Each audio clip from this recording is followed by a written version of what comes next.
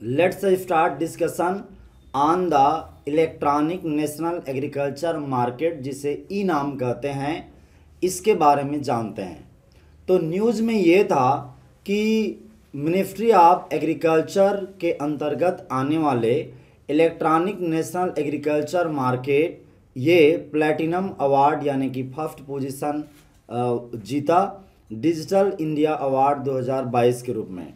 यहाँ पे आप देख रहे हैं भारत के राष्ट्रपति, ठीक है, द्रौपदी मुर्मू जी।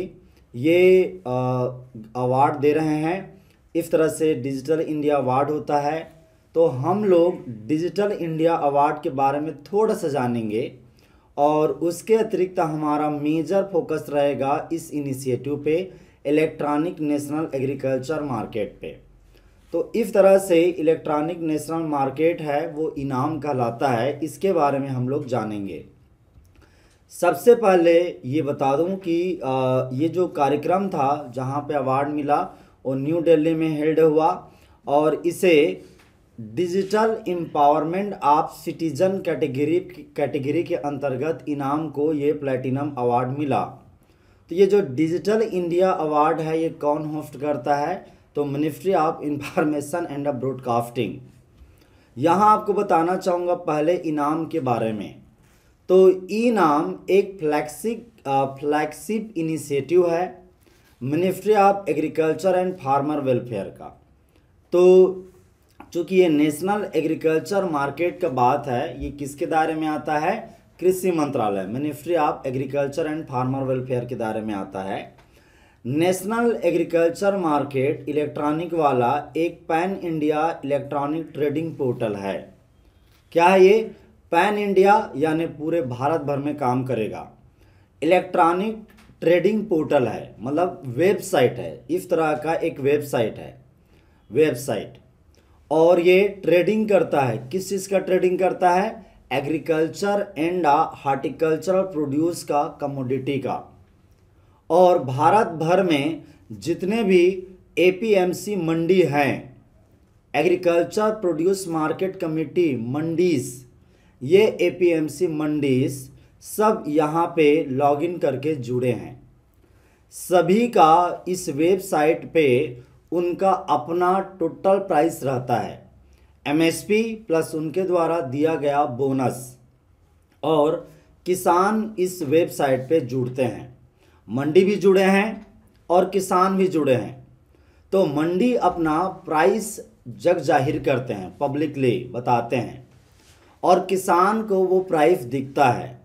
अब किसान को जिस भी मंडी में जा कर के बेचना है, जहाँ उसे ज़्यादा प्राइस मिलेगा, वहाँ पे वो जा कर के बेच देगा। क्लियर है फंडा कि ई नेशनल मार्केट का कैसे कॉन्सेप्ट है, क्या काम करता है? तो ये यूनिफाइड नेशनल मार्केट है एग्रीकल्चर एंड हार्टिकल्चर कमोडिटी का। इसको चलाने का मेन ज़िम्मेदारी किसका है? तो इस तरह से एक संस्था है, ये लोगो याद रखिए। लघु कृषक कृषि व्यापार संघ, इसको कहते हैं small farmer agri business consortium S F A C तो small farmer agri business consortium ये लीड एजेंसी है इस इनाम प्रोजेक्ट को रन करने का, यानी इलेक्ट्रॉनिक नेशनल एग्रीकल्चर मार्केट को देखने का।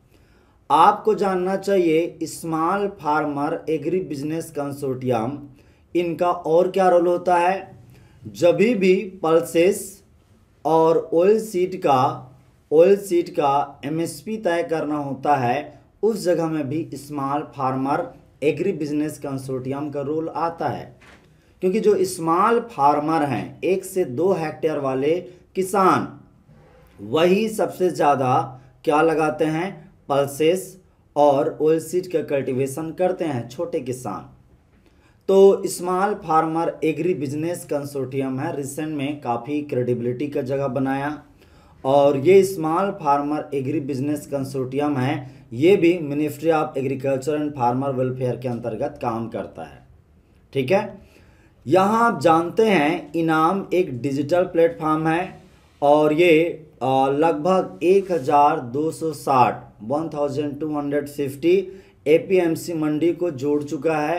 भारत के लगभग 22 स्टेट और थ्री यूटी के जो एपीएमसी मंडी हैं, वो इससे जुड़े हैं। और ये वहाँ पे ऑनलाइन ट्रेडिंग प्रोवाइड कर रहा है। लगभग 203 203 एग्रीकल्चर एंड हार्टिकल्चर कमोडिटी के बारे में जानकारी मिलेगा। किसान को सही दाम मिले उसके प्रोड्यूस के लिए, इसलिए यह इनिशिएटिव किया गया है। यहाँ पे जीपीएस एक्टिव रहता है। इससे क्या होगा? जैसे आप याद करो, जब आप किसी कैब बुकिंग ऐप में कैब बुक करते हो, आपका लोकेशन सेट हो जाता है और उसके बाद में नियर बाई कौन कौन से नियर बाई कौन कौन से जो कैब हैं वो दिखाई देता है। उबेर में किए होंगे तो। और वो कितना मिनट में आपके पास पहुँचेंगे वो दिखाई देता है। तो बिल्कुल उसी तरह से आप जिस जगह में खड़े होते हो, किसान के रूप में आपने रजिस्टर किया है, और जो भी आपका लोकेशन है, उसके आधार पे आपको नियर बाई कौन से ए पी एफ़ सी मंडी आपसे कितना दूर है और वहाँ पे कितना प्राइस चल रहा है आपके सेलेक्टेड क्रॉप का। जैसे आपने राइस का ग्रेड ए सेलेक्ट किया है तो नियर बाई मंडी में, किस मंडी में कितना उसका बोनस के साथ में पैसा है? क्योंकि इसमें ये बात था, आप इसको और भी इसके बेसिक पढ़ते हैं तो ई नेशनल एग्रीकल्चर मार्केट के प्रोविज़न को पढ़ सकते हैं आप चाहें तो। मैं यहाँ केवल इसके कुछ इंपॉर्टेंट पहलू पे ही बात कर रहा हूँ। इसके लेटेस्ट पे बाकी और भी इसके स्टेबल डाटा होते हैं, उनको भी आप पढ़ सकते हैं। तो यहाँ पे आपको ना एग्जैक्ट लोकेशन यानी एपीएमसी मंडी में कितना प्राइस है किसी प्रोडक्ट का, इसके बारे में जानकारी मिलती है और और आप ये भी तय कर सकते हो कि वो आपसे कितना दूर पे है, वो मंडी। तो उससे क्या है, क्या आपको वहाँ ले जाते तक, जैसे किसी मंडी में प्राइस ज़्यादा दिखा रहा है लेकिन आपको लगा कि यहाँ ले जाने से क्या हो सकता है? ट्रांसपोर्ट कास्ट ज़्यादा हो सकता है। तो फिर आप नहीं ले जाते हैं। तो आ, क्यों? क्योंकि आपको ट्रांसपोर्ट कास्ट ज़्यादा पड़ेगा। तो इस तरह से डिसीज़न लेने में मदद मिलता है किसान को क्योंकि उसका ओवरऑल ऑब्जेक्टिव होता है बेटर प्राइस फेस करना। क्योंकि वो जहाँ दाम ज़्यादा मिल रहा है ना वहीं जा कर के बेचेगा। एक बात और बताना चाहूँगा। ये e national agriculture market create किया गया। तो ये भी फोकस किया गया था कि ई नेशनल एग्रीकल्चर मार्केट है, वो पहले के जो नियम थे, उनको तोड़ा गया था। कौन से नियम को तोड़ के बनाया गया था ई नेशनल एग्रीकल्चर मार्केट तो इसे जब स्टार्ट किया गया नेशनल एग्रीकल्चर इंफ्रास्ट्रक्चर फंड के तहत तो इसमें ये फोकस किया गया था कि पहले कोई किसान पहले जिस मंडी पे ही उसका इनरोलमेंट था, उसी मंडी पे ही बेच सकता था। लेकिन ई नेशनल एग्रीकल्चर मार्केट लाया गया तो ये इसने ये चीज़ का भी सुविधा दिया कि कोई भी किसान दूसरे मंडी में भी बेच सकता है। अभी भी रेस्ट्रिक्शन है, लेकिन फ़िलहाल ई नेशनल एग्रीकल्चर मार्केट इसी की बात करता है कि वो जिस मंडी में इनरोल है, उसके भी अतिरिक्त दूसरे मंडी पे बेच सकता है। जैसे आपको बताऊँगा जो राशन कार्ड होता है, जहाँ से नाम लिखा होता है राशन कार्ड का, उसी फेयर एंड जो फेयर प्राइस शॉप है, उचित मूल्य की दुकान, जहाँ पे नाम है, वहीं से आप राशन ले पाते थे। लेकिन बीच में दिल्ली गवर्नमेंट ने ये इनिशिएटिव लिया कि आप कहीं से भी आपका राशन उठा सकते हैं, क्योंकि ऐसे में क्या बेनिफिट होता है? यदि किसी राशन दुकान से आपका नहीं बन रहा है तो आप मजबूर नहीं होंगे कि उस यदि झगड़ा हो गया तो आपको वहीं से लेना है और वो आपके सामने प्रॉब्लम क्रिएट करे। आप कहीं से भी किसी भी राशन की दुकान से ले सकते हैं। बिल्कुल ऐसे ही इसका भी था कि आप किसी भी मंडी से भी बेच सकते हैं आपके प्रोड्यूस को, जो आपको बेटर प्राइस मिल रहा है। तो ये इनिशिएटिव इसको थोड़ा सा स्पेशल बनाता है और ये ना पैन इंडिया प्रोग्राम है, पूरे भारत भर के लिए चलने वाला प्रोग्राम है। यहाँ ये भी जानिए कि ये एक तरह का मंडी के ऑपरेशन का डिजिटल ट्रांसफॉर्मेशन है, क्योंकि सारे मंडी का प्राइसिंग ऑनलाइन में जुड़ गया। अभी भी बहुत सारे मंडी बाकी हैं जुड़ना। गवर्नमेंट और ज़्यादा से ज़्यादा प्रमोट कर रहा है, क्योंकि जो एग्रीकल्चर है, ये स्टेट सब्जेक्ट है। स्टेट के ऊपर में काफ़ी डिपेंडेंसी रहती है कि स्टेट पार्टिसिपेट कर रहा है या नहीं कर रहा है। और जैसा आपने जाना, ये ई ट्रेडिंग है। तो ट्रेडिंग में केवल बेचने का काम नहीं होता। सेलिंग यहाँ पे केवल किसान के द्वारा सेलिंग नहीं होता, बल्कि बाइंग भी होता है।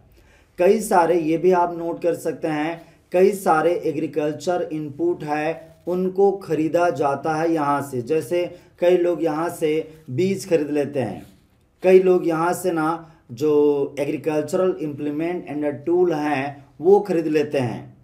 तो किसान यहाँ से इस तरह से बाई कर सकते हैं। तो ये एक तरह का ट्रेडिंग पोर्टल है, जैसे अमेजान या फ्लिपकार्ट का होता है उसी तरह से। अमेजान में क्या होता है? कई लोग वहाँ पे बेचते हैं एज ए सेलर और आप सब लोग खरीदते हैं as a customer as a student रहते हैं तो खरीदते हैं। अब आपको 2022 दिसंबर का लास्ट तक का अपडेट बताता हूँ। लगभग लगभग इसमें 1.74 करोड़ से भी ज़्यादा किसान जुड़ चुके हैं और लगभग 2.39 लाख ट्रेडर इसमें रजिस्टर कर चुके हैं। ठीक है? यहाँ पे आप साइट पे जा कर के रजिस्टर कर सकते हैं। A total trade consisting of 59 million metric tonne worth rupees two point four two lakh crore has been recorded on the e NAM platform ये देखा गया है कि लगभग 2.42 लाख करोड़ वैल्यू का यहाँ पे बिज़नेस हो चुका है। लगभग 69 मिलियन मेट्रिक टन का, क्योंकि वहाँ पे आप दर्शाते हो कि आप कितना बेचना चाहते हो, उसके आधार पे वो रजिस्ट्रेशन होता है। यहाँ एक और भी आप बात जान लीजिए। ये जो डिजिटल इंडिया अवार्ड है, जो इनाम को मिला है, इसके संबंध में ये है इसे इंस्टीट्यूशन कौन करता है? मीटी। और मीटी क्या है? Ministry of electronic and information technology ये नेशनल पोर्टल ऑफ़ इंडिया के दायरे में इस डिजिटल इंडिया अवार्ड को दिया जाता है और ये digital India award better serve करने के लिए इनाम को मिला। तो केवल ये तो करंट अफेयर टाइप का हो गया।